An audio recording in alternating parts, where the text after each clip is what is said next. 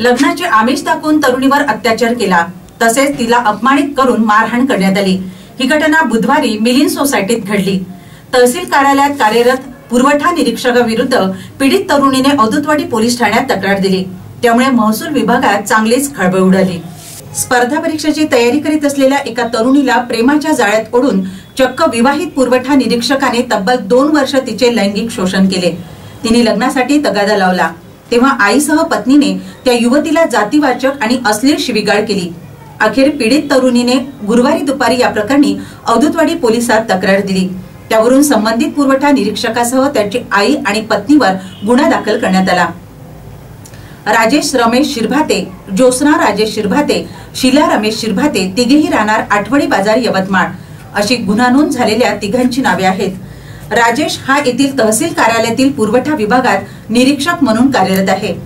September दोन हजार वीसमध्ये येथीलच एका मागासवस्तीत वास्तव्याला आणि स्पर्धा परीक्षेची तयारी करीत असलेली तरुणी स्थानिक तहसील कार्यालयात कामानिमित्त गेली.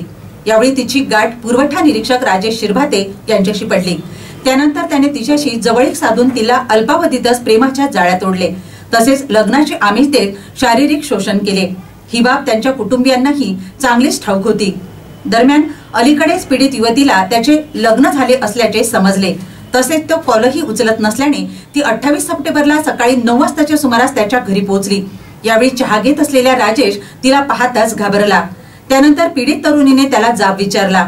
तेव्हा त्याने तिला मारहाण केली. शिवाय तिच्या हातावर कप फोडून जखमी केले.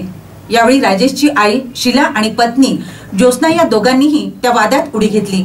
शिवाय असली आणि जातीवाचक शिविगाळ केली. घटनेनंतर गुरुवारी दुपारी पीडित तरुणीने अदुतवाडी पोलीस ठाणे गाठून या प्रकरणी तक्रार दिली.